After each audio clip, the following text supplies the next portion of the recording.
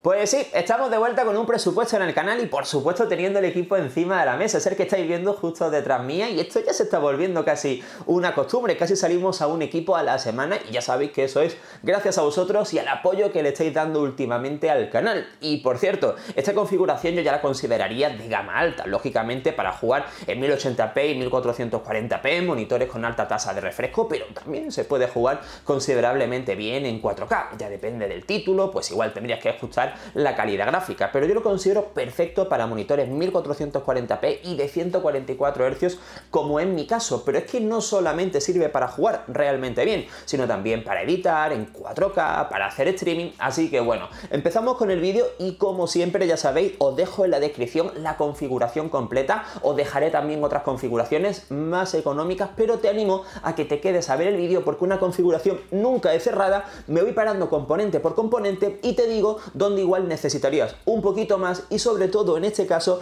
donde te podrías ahorrar dinero para ajustar la configuración a tu medida, porque igual no necesitas tanto en alguno de los componentes. Así que vamos allá. El procesador que he montado es el Ryzen 9 3900, idéntico al X y el XT en cuanto a núcleos e hilos, es decir, tenemos 12 y 24. La diferencia está en el TDP, de 65 vatios más bajas, y esto también se traduce en unas frecuencias algo más bajas, en la base de 3,1 GHz y en la turbo de 4,3. Hay una cosa muy importante que hay que tener en cuenta de este procesador y es que no te lo vas a poder comprar de manera independiente en su caja y con el disipador. Entonces alguno me dirá, bueno, entonces ¿por qué lo metes en el presupuesto? Porque sí que se puede comprar desde hace poco, desde hace un par de meses en Coolmod, que así es como me hice yo con este procesador. Merece realmente mucho la pena, porque por ejemplo puedes hacer un pack con esta B450 de Asus, que ya es una placa suficiente para ese procesador, por 450 euros, es decir, por un poco más de lo que te vale el Ryzen 9 3900X y como digo, haciéndole un overclocking, pues muy muy normalito, ya tiene prácticamente el mismo rendimiento que en un Ryzen 9 3900X. Digamos que el peaje de este procesador es ese, no tener la caja y no tener disipador. Pero si esto no te importa, es una inversión realmente buena. De hecho, es el procesador que yo estoy usando y yo le doy mucha caña. Edito en 4K, es cierto que últimamente hago poco streaming, pero me quiero poner a ello. Y bueno, la verdad que como digo, es un procesador que merece mucho, mucho la pena. Volvemos a lo mismo que pasa siempre. Realmente para jugar a videojuegos, si tú lo que vas a hacer es jugar a videojuegos y después navegar por internet, un uso ofimático, no vas a necesitar un procesador así y yéndote directamente al Ryzen 5 3600 que vale menos de 200 euros, ya vas a ir bien y vas a poder montar con él una tarjeta gráfica de gama alta sin ningún tipo de problema. La placa es la nueva B550F Gaming de Asus, la versión sin wifi, donde tanto su precio, 200 euros, como sus calidades, ya hace que no la veamos como una simple placa base de gama media, sino como algo más. Y es que sí, el PCI Express 4.0 con sus 20 carriles, 16 para la gráfica y 4 para el primer slot M.2 es algo que hay que tener en cuenta y que suma. Pero claro, por supuesto también suma el precio. Pero sus VRM de 12 más 2 fases de alimentación junto a unos disipadores bastante generosos nos va a permitir hacer un buen OC, pero también tenemos la posibilidad de montar hasta 128 GB de memoria RAM siendo compatible incluso con modelos de más de 4000 MHz, 4400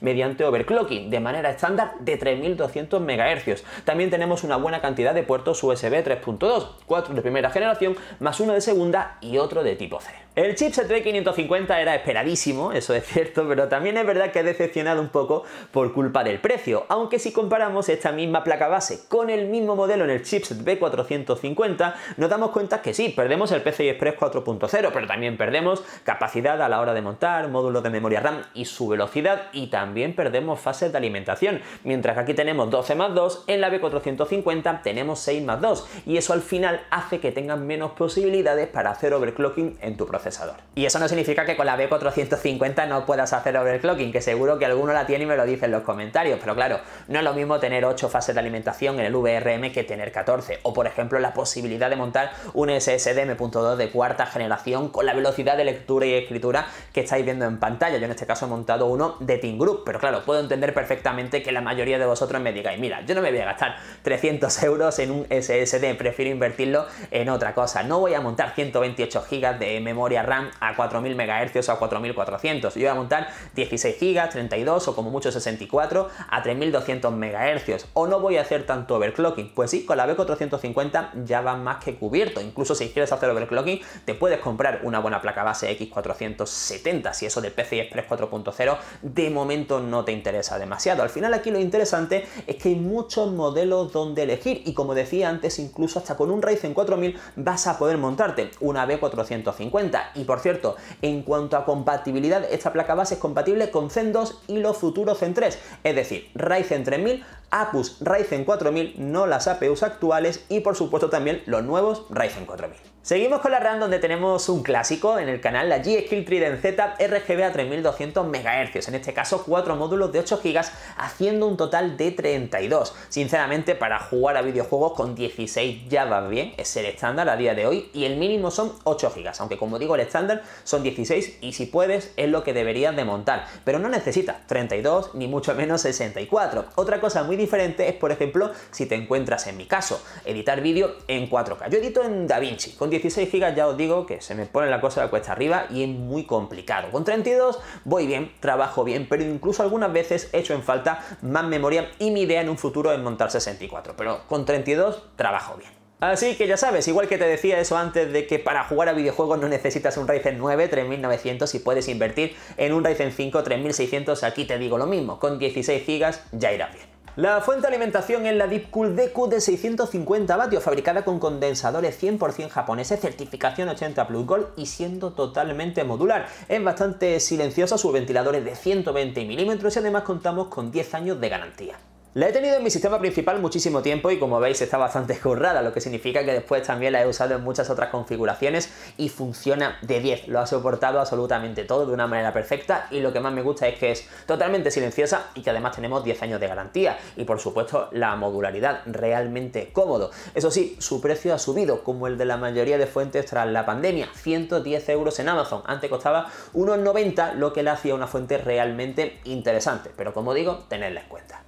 La caja es la Macube 550, una auténtica preciosidad construida en acero con un cristal templado que cubre todo el lateral izquierdo y un tirador de aluminio que sinceramente queda muy bien. Su diseño es minimalista y está claramente inspirada en la serie H700 de NZXT. Eso sí, con un precio más ajustado, la vas a encontrar por unos 90 euros con la posibilidad de montar placas bases incluso de formato EATX. Estamos ante una caja realmente grande con unas dimensiones también muy parecidas a la serie H700. Es de cerrado. El aire entra por estas rejillas laterales y sale por la parte trasera. Una solución que estéticamente me gusta, digo, sobre todo por las rejillas, pero que no me termina de convencer para tener el mejor flujo de aire posible. Por cierto, el ventilador trasero es el único que incluye, aunque podremos montar hasta 3 de 120 en el frontal y 3 de 140 en el lateral, donde en este caso yo he montado la KSL RGB de 360 milímetros. He tenido muchísimo tiempo la de 240 y siempre me ha funcionado fenomenal. Por cierto, he probado a montar los ventiladores metiendo aire hacia la caja o metiendo aire hacia el radiador,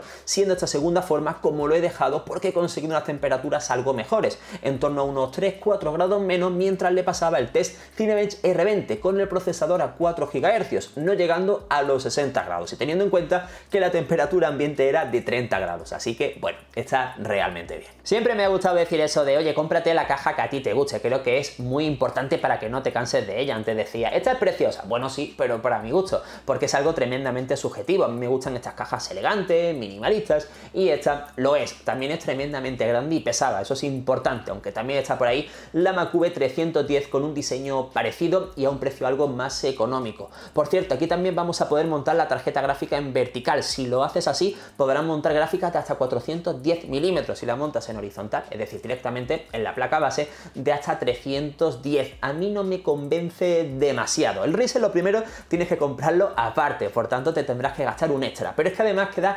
demasiada pegada al cristal y eso hace que las temperaturas no sean lo mejor del mundo. Así que bueno, sinceramente la he montado así porque tenía el Razer, pero en el día a día la montaría directamente en la placa y no me lo compraría. Vámonos ahora sí con la gráfica y por supuesto con las pruebas en videojuegos. En este caso tenemos una RTX 2070 Super de KFA2, marca conocida como Galax en otros territorios. Además esta es la edición Work the Frames con tres ventiladores de 90 milímetros y 11 aspas cada uno, aunque el central parece ligeramente más grande por culpa de ese aro que la rodea, pero no, es idéntico. Estos se paran cuando la gráfica está en baja carga, lo que se le conoce como sistema 0 decibelios. El backplace es de plástico, solamente es estético y no cumple ninguna función más allá de dejar ver unas estrellitas iluminadas en RGB que claro está mejora los fotogramas por segundo una media de un 5%. Bueno, para alimentarse necesitaremos conectar un par de conectores PCI Express de 8 y 6 pines y el VRM que alimenta el núcleo es de 7 más 2 fases. Si hablamos de conectividad tenemos tres salidas DisplayPort y un HDMI 2.0 dejando atrás el puerto USB de tipo C. Esta es la tercera gráfica de KFA2 que se pasa por el canal. Hemos tenido la 1660 Super, 2060 Super y ahora este. de nuevo vuelve a buscarse lo mismo, tener la mejor relación calidad-precio posible del mercado, ofreciendo unas buenas prestaciones donde la estética tal vez sea su punto débil, aunque en este caso con esta edición intenta arreglarse esto teniendo RGB y ese tipo de cosas, ¿no? A mí sinceramente la estética de esta gráfica no me parecen las mejores, pero su precio sí que lo es y además su sistema de refrigeración también está a la altura como ahora vamos a ver en las pruebas en videojuegos. El precio de este modelo debería rondar los 500 euros, pero en este momento no hay nada en el mercado español. Sí que me he encontrado con otra de doble ventilador de este mismo fabricante, el Coolmont, por unos 470 euros, lo que es el mejor precio precio del mercado para una 2070 Super, que básicamente es una RTX 2080, porque cuenta con el mismo chip TU 104. Y nada más, vamos al lío, vamos con las pruebas en videojuegos. Y empezamos con Fortnite, ya sabéis que en este tipo de pruebas intento poner ejemplos de juegos muy diferentes en cuanto a la exigencia y con las mejores configuraciones posibles. Al final aquí la idea es que os podáis eso, hacer una idea de lo que es capaz el equipo. Luego siempre se puede ajustar dependiendo de las preferencias o monitor que tenga cada uno. Ya sé que los que le dais a Fortnite de manera competitiva jugáis con otro tipo de configuraciones, pero en 1440p y con todo el máximo ronda todo el rato los 100 fotogramas por segundo. Puede caer a 90, puede subir a 110, 120 dependiendo de la zona. Así Así que ya sabes, puedes jugar tranquilamente en monitores 1080p y 1440p con alta tasa de refresco, ajustando muy poquito la configuración gráfica, pero también en 4K. A partir de ahora todos los juegos tienen posibilidad de activar el Ray Tracing. Shadow o The Tomb Raider además tiene prueba de rendimiento, donde en 1080p en Ultra y con el DLSS activado y Ray Tracing desactivado conseguimos 117 fotogramas por segundo. Si activamos ahora el Ray Tracing 82 y si desactivamos el DLSS dejando el Ray Tracing en alto 64. En 1440p con el DLSS activado en todos los casos, en Ultra tenemos 82 fotogramas por segundo sin el Ray Tracing y 60 con el Ray Tracing en calidad media. Vámonos ahora a Warzone. Aquí directamente me he ido a 1440p con todo el Ultra y además activando el Ray Tracing. Y como veis, lo mueve de manera sobrada,